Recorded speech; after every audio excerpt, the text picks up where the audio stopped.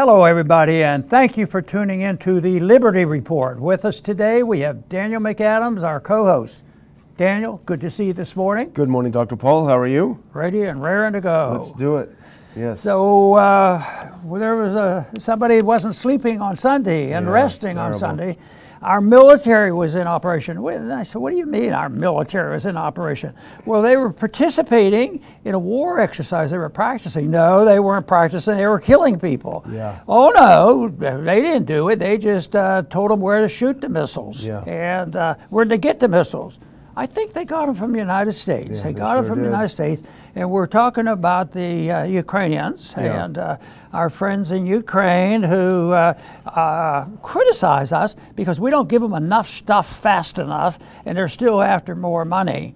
And uh, there was something written the other day about at a certain point. Uh, when the establishment is satisfied with the status quo over there, he's gone. Zelensky's gone. Yeah. But anyway, he shouldn't have even arrived under these circumstances, but he wouldn't have if it had not been our policy. And uh, some people would say we are at war. You know, we're building a lot of weapons, we have a lot of, uh, uh, you, you know, co-conspirators and participants and allies. A lot of bombs are being dropped. A lot of people have died, and I believe this is a personal belief that none of this would have happened if we did not have an American foreign policy that was very, very encouraging uh, to this situation. Things would be completely different, and that is why, of course, we exist, is try to point out the foolishness of uh, an, an of an interventionist foreign policy, one designed to uh, ignore the Constitution, and one to be designed and pressured by the military-industrial complex, ends up in trouble, and a lot of people died. And uh, Americans, uh, there's been some deaths, but uh, it isn't it isn't like Vietnam where body bags were coming home. But it's still just as immoral and just as costly and just as antagonizing. And they last a long time. So over the weekend, uh, they were looking for some excitement, so we participated with the uh, Ukrainians in uh, sending some missiles in, into Crimea, and. And if, if, if the story is true that this was directed with our intelligence agencies, at the same time, they knew exactly where they were heading to a beach with people innocently being on the, on the beach. No, there was not a horrendous number of people being killed, but there were some, and children were injured. It was still devastating, but it's the principle of the thing. It was the Ukrainians and the Americans attacked on Russia. And uh, that's the part that people won't say. Why did we attack Russia? And they say, well, Russia invaded Ukraine, and we're trying to restrain them. and they'll go back to all this lying. Yeah. So that, that has happened. It's, it's big in the news. And there's one question, and, uh, and that is what's Russia going to do about this? Are they going to twiddle their thumbs and walk away? They might for a day or two ponder it, but there will be something that they're going to do. And uh, who knows, it might be financial and teach Americans that you can't put sanctions and run the world. And, uh, but uh, expect Russia not to play patsy with this and just put up with it. Yeah, I mean, here's Mike Johnson. He's the one who made it happen. He's the one who made this $61 billion happen, which bought these five ATACMS long range missiles uh, that were shot into the, uh, one of them at least shot into the beach on Crimea. This is the Republican leadership. This is the supposed opposition uh, who facilitated the transfer of these weapons uh, against, you know, certainly the better judgment of cooler heads. So five ATACMS were fired. Uh, we can put up that first clip even. Uh, and they were armed, Dr. Paul, with cluster munitions. These were not warheads. These were not unitary warheads. They were cluster munitions. Cluster bombs are designed to kill to kill personnel. Uh, should be military personnel. They're banned by 100 countries because they end up getting lodged into the ground and other places. They're unexploded. Kids pick them up years later and get blown to pieces. Horrible, horrible munitions. We don't have the capacity to show the video uh, today because of our internet problems we're having, but you can hear very clearly when the bomb hits the cluster munitions going off. So here's what happens. Now, it's not just any Sunday, but it's Trinity Sunday for those in the Eastern Orthodox Church. Uh, the majority of, uh, of Crimea would be that. uh, celebrating Trinity Sunday, going to the beach on Trinity Sunday. They get there uh, and they're blown up. Uh, you have uh, at least five killed, I think several in critical condition, uh, 124 injured, including 27 children. Two of the children, two of those killed were children. Some of the injuries they say are severe, which you can imagine with the cluster bomb and all that shrapnel going around everywhere. So, anyway, children are among the mass casualties after U.S. supplied missile targets crowded Crimean beach. Uh, now, the reaction, as you point out, Dr. Paul, from Moscow is they're not very happy at all. If you go to the next one, Moscow is calling it a terrorist missile strike uh, on Sevastopol. A separate Russian Ministry of Defense statement directly accused Washington, quote unquote, flight missions for ATACMS missiles are programmed by American specialists based on U.S. satellite reconnaissance, making Washington primarily responsible for the deliberate missile strike on Sevastopol's citizens, the Russian Ministry of Defense said. So they clearly are viewing the U.S. as a central player in this attack. Yeah, you know, we've already talked about this for five to ten minutes and expressed who started what and who's responsible, at least hinted strongly to this and why it's going on.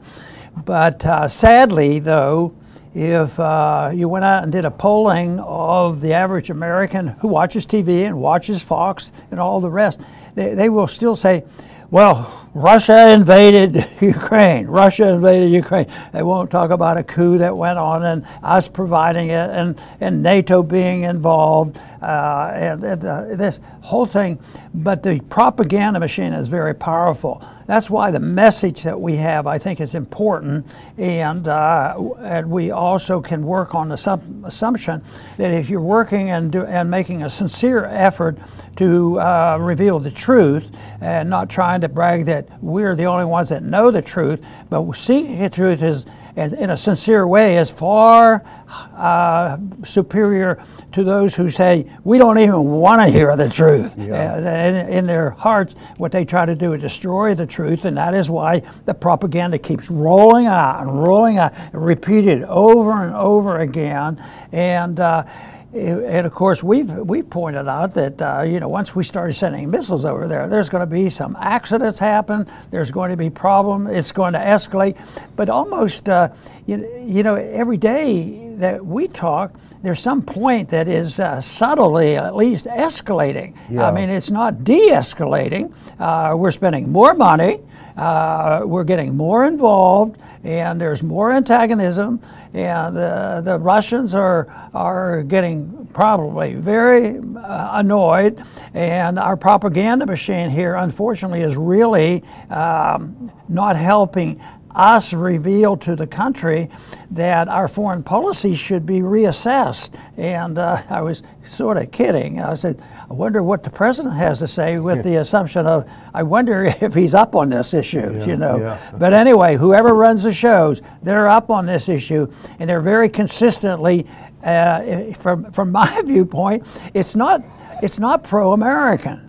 you know, yeah. it, it's pro something else. It, to me, it's pro-globalism run by people who don't uh, never heard of the word Thomas Jefferson or the U.S. Constitution. Yeah, yeah. And you use the word escalation, and it is important because this is one. But a lot of people have been asking why this escalation, why these missiles are shot in there, uh, what's going on. Well, you know, there's going to be the big NATO yearly summit coming up soon, and the rumors are that uh, NATO i.e., the U.S. Okay, we know they're desperate. No matter what they do, it's not working. Ukraine is still losing the war. They spent $200 billion, $300 billion. They're still losing the war. They will lose the war. So they're trying to throw a Hail Mary pass. So the, one of the rumors are that they're trying to provoke Russia into a serious reaction to this. In that way, they can say, see, look, they, look they're, they're getting violent. They're attacking us. We need to send NATO troops into Western Ukraine because that apparently is the next wonder weapon is NATO troops in western Ukraine. So they're trying to get Russia to do something dramatic so that they can justify sending these troops into western Ukraine. That's at least what they're saying.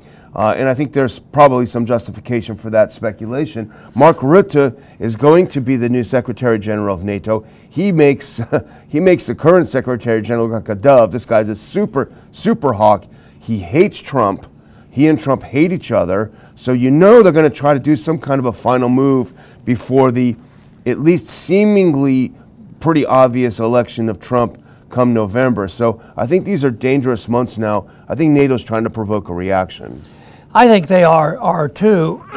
I think uh, Russia uh, is is working hard to have a minimal response. I mean, they can't they can't not respond because they have the same political situation in their country. The, the Russian people uh, don't want it, and this is this is an attack on uh, historically was Russia. Yeah, you know, and, and most time. of the people that are living there are Russian. So the, the, the response, uh, there's political pressure on on uh, on uh, on Russia to respond, and uh, there's a natural desire to do it, and they can get fed up for so long but it's uh, not only uh, impractical sometimes for them to do too much. Uh, it, it, you know, it could be very, very much. We're worrying about escalation, but it looks like the people who do this are they pro escalation? Oh, yeah. That, that's, that's the big thing. And uh, those are the kind of things that are so hard for me to believe and come around that we would do things even prior to the big wars. Even back in World War I, how, uh, how, how necessary was it for us to do that? And how necessary was it to uh, uh, why in the world did we refuse to even talk to the Japanese who were seeking uh, yeah. a peaceful answer to, to avoiding World War II? Yeah, absolutely. Well, let's do a couple more quick things. Let's look at what Sergei Lavrov had to say. If you skip ahead one and do that uh, with his picture. Now, this is a quote from the foreign minister, the Russian foreign minister, on here's what he had to say. Um, well, this is the Ministry of Defense. The U.S. is responsible for this massacre, and they will get an answer. All flight missions for American ATACMS missiles are programmed by American specialists based on their own U.S. satellite intelligence data. Therefore, the responsibility for the deliberate missile strike against the civilian population of Sevastopol lies primarily with Washington, which supplied the weapon to Ukraine, as well as with the Kiev regime, from whose territory the strike was launched. Such actions will not go unanswered. That's the Russian government. Now, if you go to the next one, this will show you this is where the Global Hawk was positioned as the attacks were taken out. You can see those red lines where, where the U.S. surveillance drone Global Hawk was circling and circling and circling, providing intelligence to the Americans who were programming the missiles to hit uh, Sevastopol. The person who wrote this said provocation is the fact that the U.S. Air Force using Global Hawks to direct the fire of U.S. provided cluster bombs on Russian civilians in Sevastopol provocatory? Are we winning hearts and minds? How hard will Biden continue to poke the bear ahead of the November elections? And uh, uh, Marjorie Taylor Greene retweeted this with some good comments. Now, go to the next one. She makes a couple good points, Dr. Paul. She says, This should not be happening. Imagine if Russia, using a Russian satellite, fired cluster munitions on a Florida beach. The only border our American military should be defending is our own border, and the Constitution mandates the federal government to defend the states. So I'd say a pretty good quote from Marjorie Taylor Greene. Oh boy, sounds good. Maybe yeah. we ought to get her on this program. We should, yeah. She's absolutely welcome, I uh, think. You know, the escalation thing, which is hard for me to understand, but the more I look at it, the more I it, it, it comes across as it can't be an accident. It yeah. can't be a coincidence. So the escalation there and the plan for escalation there. But the escalation that uh, very few are talking about and uh, that has to be the escalation against uh, the liberties of American citizens. We're paying, we know yeah. that. Uh, we, we're not sending really boots on the ground, but that's a fib too because we have lots of people there, but uh, they're pretty secret right now. But the biggest escalation now in the preparation for what's going on worldwide is registering for the draft everybody as, as they're 18. Yeah. So that, that's part of the conditioning uh, that's going on, and they, and you will hear that if you're opposed to that, you're you're not a very patriotic American. Yeah. You know, if you defend individual liberty and, and the founders, I, I think they skipped that part in the Constitution Yeah. that everybody will have a draft at 18 Yeah. and you will do what the government told. They didn't even say eh, back then. Yeah. They didn't even say the other half of of uh, of uh, slavery and control is is our income tax and Yeah. things like that. They didn't. but None of that is in the Constitution. I wonder why they don't pay any attention. They. You know, remember we all when I took uh, we raised our hand, take Yeah. oath of office, and yet uh, uh, they uh, they they always have a oh that's a different document. The Yeah. document that changes gradually. You Living- have to have it. It has to be flexible. Yeah, living document. yeah, living document. Oh, oh my, what a mess. Well, we'll keep an eye on this, uh, Dr. Paul. Hopefully, it won't escalate. I'm going to close out by thanking all of our viewers, reminding you of my announcement on Thursday that our great friend and RPI board member, Judge Andrew Napolitano, will be at our conference on August 31st in DC. He's going to give a great talk on what we've been talking about, which is lawfare, the attacks on the Constitution. Um, and uh, it's going to be great. We'll make some more announcements. I'll put a link in on the description. Get those tickets. Get them while you can get a little bit of a bargain. We're doing an early bird special still for a couple more weeks, so get them now. Over to you, Dr. Paul. Very good. And I too am uh, anxious to uh, be at the conference and meet as many people as possible. Because one thing I find out uh, is I get information. People think that we provide it and that helps you. Well, yes, but I think it's mutual because I like to find out what people are thinking about. And you say, well, they'll all be friendly. They're, they're going to agree. Yeah, that's good but there's everybody has an idea or an approach, and I think that's why discussion and and pursuing truth is the goal that we should all have. And, and without the idea that we know the absolute truth and you listen to us, then it drifts over into dictatorships because we're imperfect people. But I tell you what. Yeah, there's no denying that uh, a decent individual wanting to seek out the differences between peace and war and good and bad, it's possible. And we want to contribute to that, that system that promotes peace and prosperity because I think that is a worthy goal. I want to thank everybody for tuning in today to the Liberty Report. Please come back soon.